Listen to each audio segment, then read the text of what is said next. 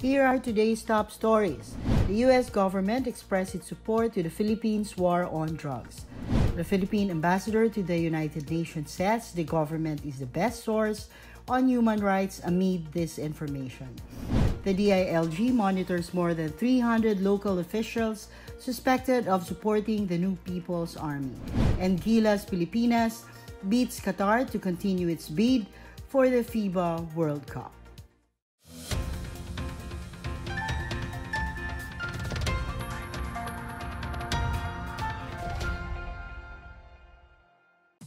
Good day, I'm Pia Rosas Morato. Welcome to the PNA Newsroom. The Philippines vows to continue its war on illegal drugs as the United States expresses its support for the government agenda. The U.S. government also reiterated its strong relationship with the Philippines. Joyce Kudis has a story. The United States ambassador to the Philippines, Sung Kim, says the U.S. supports the Philippine government's war against illegal drugs. He made a statement before President Rodrigo Duterte during a courtesy call with U.S. Philippine Society officials at the Malacanang Palace.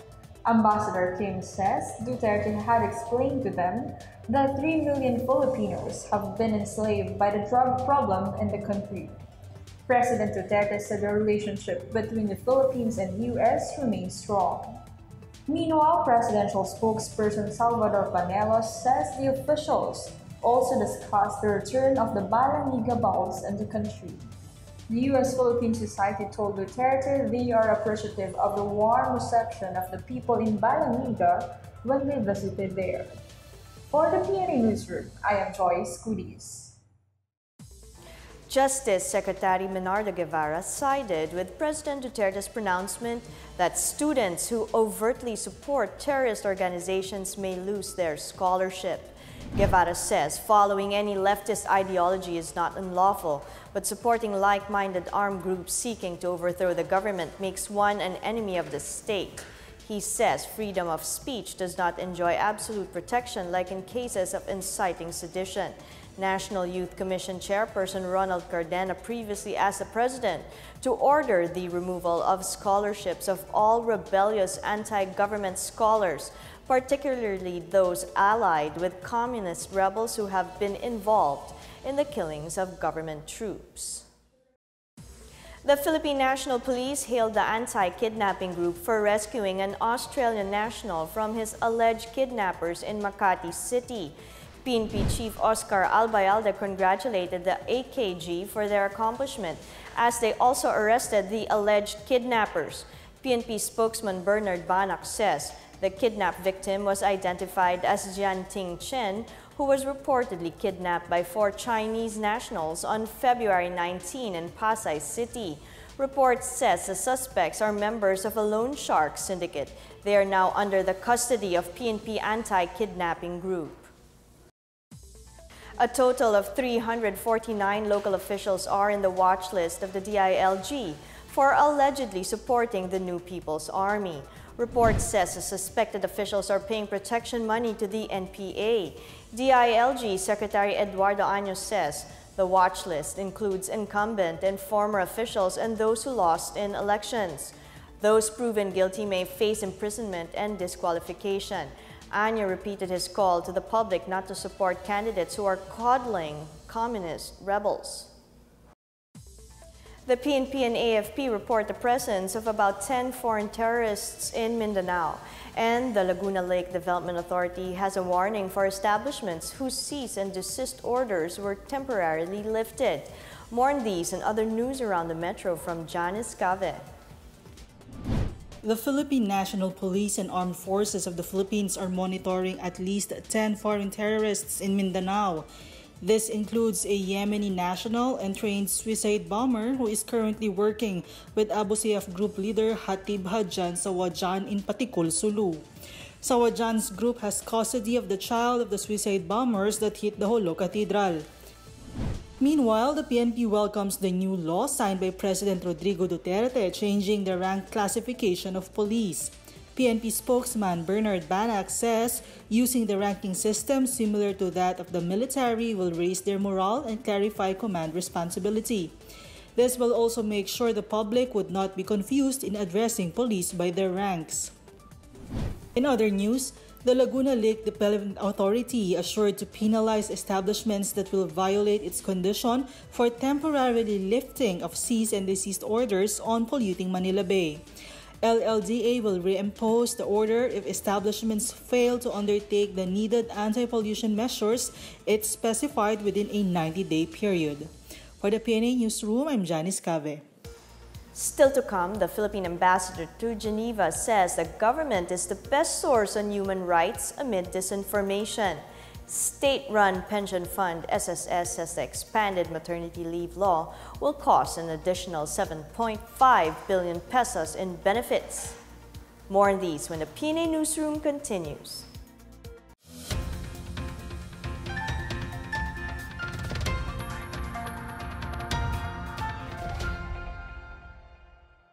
The universal health care law that I signed today will guarantee equitable access to quality and affordable healthcare services for all Filipinos.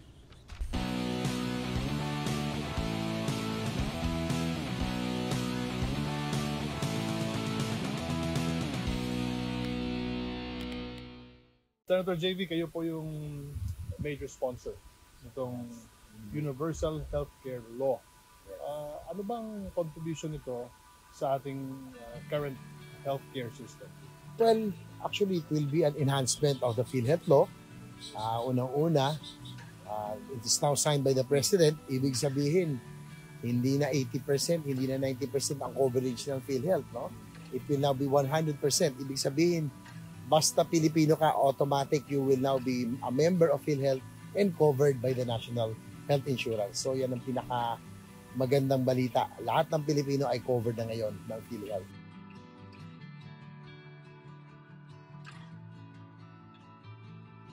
Secretary Duque, ano po ba yung advantage nitong Universal Healthcare Law? Sa ilalim po ng Universal Healthcare Law, uh, palalawigin na natin ngayon ang uh, serbisyo uh, para sa pangunahin uh, yung serbisyong uh, pangkalusugan, primary healthcare. Ito ang thrust sa ilalim ng ating uh, UHC. At dito ang makikinabang ang mga kababayan natin mga mahihirap sa mga kanayunan, sa mga uh, komunidad ng ating indigenous peoples, yung ating mga upland barangays at mga libliban na mga lugar na halos hindi talaga nakakatikim ng uh, uh, gamot o ng uh, doktor o mga health professionals ang ating mga mahihirap na mga kababayan. Sa universal healthcare na talaga naman pinakita ni Pangulong Duterte yung kanyang tinatawag natin sheer political will that this bill will finally be enacted into law precisely to address the gaps in service delivery for our people, especially the poor and who are at the fringes of society.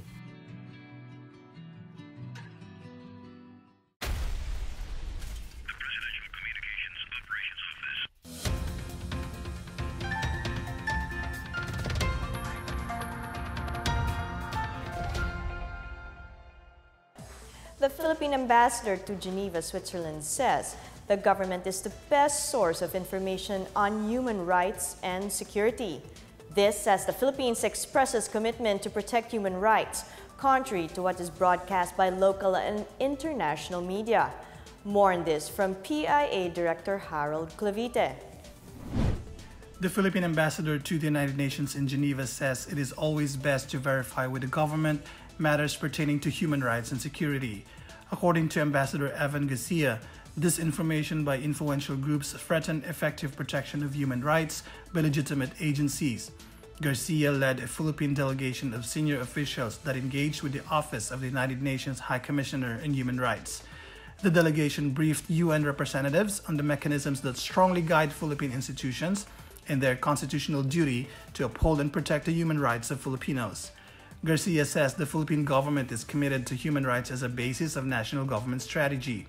In a recent meeting with the UN Working Group on Enforced or Involuntary Disappearances in Bosnia and Herzegovina, the Philippines presented information on 625 cases of disappearances attributed to government forces. but happened at the height of the internal purging of the Communist Party of the Philippines and its armed wing, the New People's Army. Garcia pointed out that this information peddled by government critics such as the CPP-NPA undermines the country's sincere efforts. He says vigilance against false information is more important than ever, especially with increasing misuse of digital and cyber platforms. He adds, the UN briefing is an opportune time for the people and the world to know the real score and look forward to sustaining the dialogue. For the PNA Newsroom, this is Harold Clavite, Philippine Information Agency. The Japanese and Philippine governments signed exchanges of notes for projects worth about 1.8 billion pesos. The agreements are composed of two grants for additional support in Mindanao and one grant for the provision of train simulators in the country. The signing ceremony was led by Ambassador Koji Haneda and Ambassador Jose Laurel V. At least 1.18 billion pesos will be allocated for the improvement of socioeconomic infrastructures and water supply in the Bangsamoro region. Japan and the Philippines are expected to sign another exchange of notes worth 250 million pesos for agricultural training and further development of water supply in the Bangsamoro area. The expanded maternity leave law is expected to cost an additional 7.5 billion pesos in benefits. SSS President and CEO Emmanuel Dooc says this amount is on top of the 6 billion pesos in maternity benefits disbursed in 2017. As of end of September 2018, SSS disbursed about 5.2 billion pesos worth of maternity benefits to over 240,000 members. Dooc says they will look for ways to fund this benefit, even as the state-run pension fund can now impose a hike in monthly contributions following the signing of Republic Act 11199.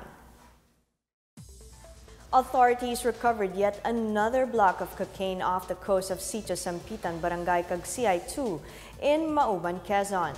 Members of the Mauban Police Provincial Mobile Force and the 59th Infantry Battalion retrieved the package following the tip of a student in the area.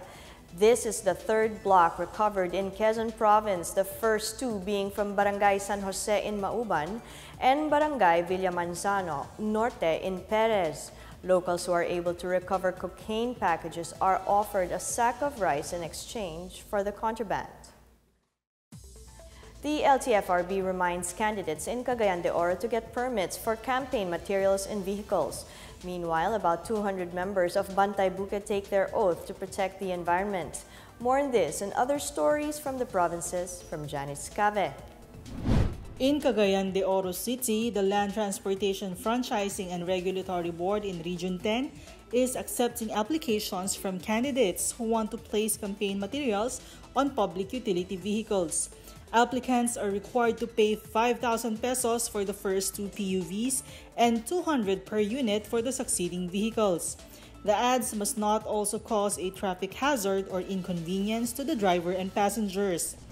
In Tanawan City, Batangas, the Department of Science and Technology and PHIVOLCS have established the first volcano monitoring station near Taal Volcano. The Tanawan Station, which directly observes Taal, is the 13th seismic observation station in Batangas. In Davao City, over 200 members of Bantay Bukid took their oath to protect and preserve the environment. Bantay Bukid will serve as the city's forest rangers, which will prevent environmental destruction through littering and other small destructive activities. Bantay Bukid works in accordance to Mayor Sara Duterte's priority agenda to preserve the environment. For the PNA Newsroom, I'm Janice Cave. Up next, the Chinese government says it does not tolerate the assault of a Chinese national on a policeman in the viral Taho tantrum video. Gilas Pilipinas beats Qatar to continue its bid for the FIBA World Cup. The PNA Newsroom returns after these reminders.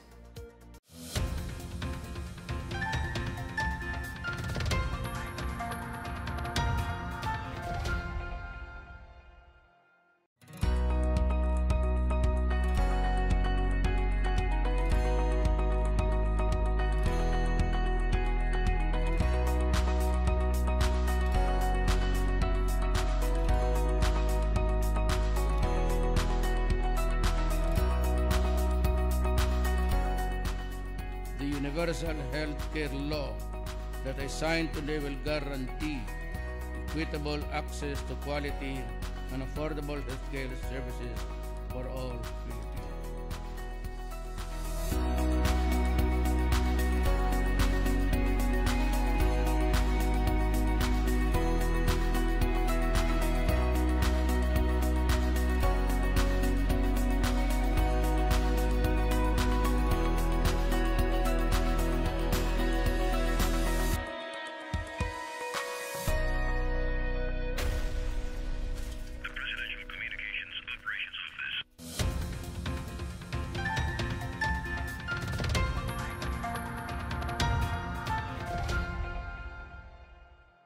Metro Manila welcomed Miss Universe Catriona Gray on her return to the country as she graced a crowd with her presence in the four-hour homecoming parade.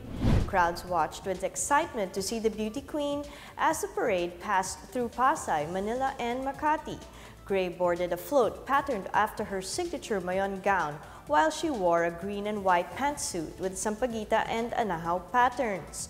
The Bicolana beauty also took time to greet her fans pose for the cameras and dance along with the marching band.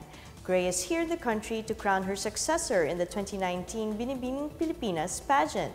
Fans who missed her homecoming parade can see her again in another parade this Saturday at the Araneta Center.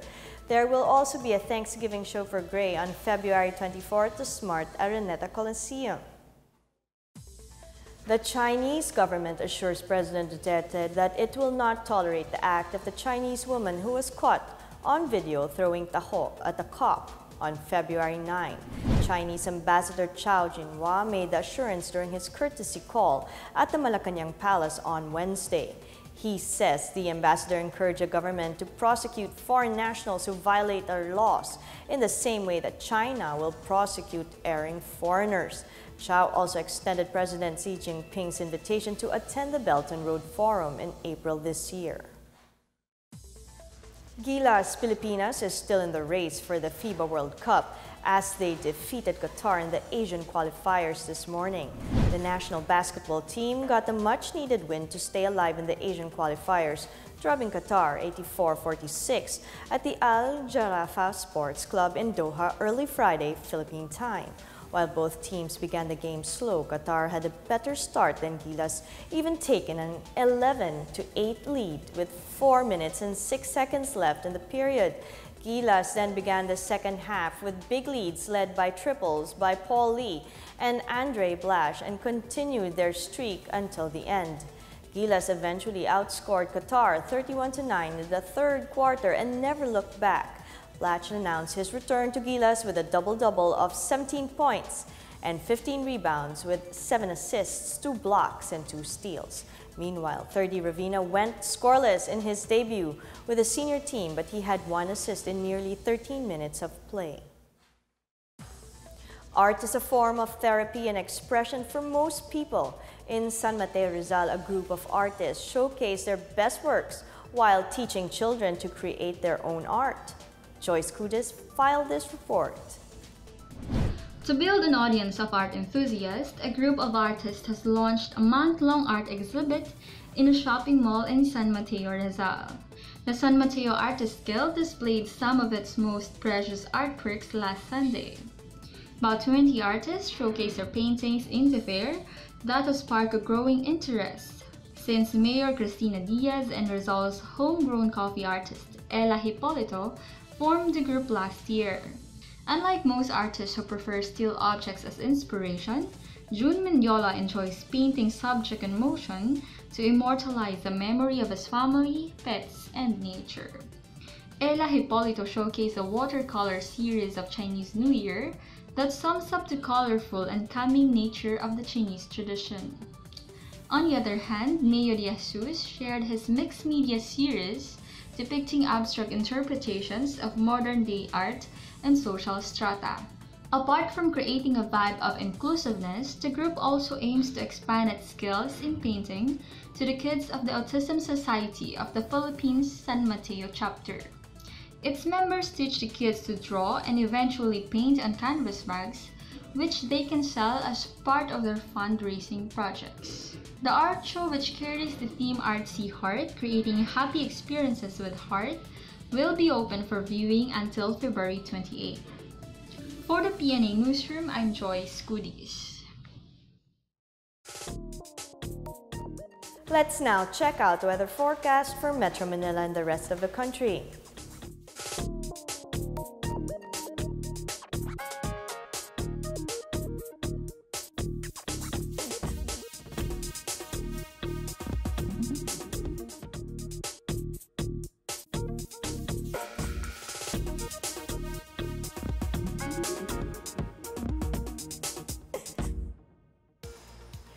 Take another look at today's top stories. The U.S. government expressed its support to the Philippines' war on drugs. The Philippine ambassador to the United Nations says the government is the best source on human rights amid this information. The DILG monitors more than 300 local officials suspected of supporting the New People's Army. And Gilas Pilipinas beats Qatar to continue its bid for the FIBA World Cup. Thank you for watching another edition of the PNA Newsroom. To check out these and other stories, visit the PNA website or follow the Philippine News Agency on Facebook and Twitter. For more stories about the government and how it serves the Filipinos, look for these hashtags in all of our social media platforms and websites. And that's your daily dose of the latest news and information that you need to know from the PNA Newsroom. I'm Pia Rosas Morato. Good day.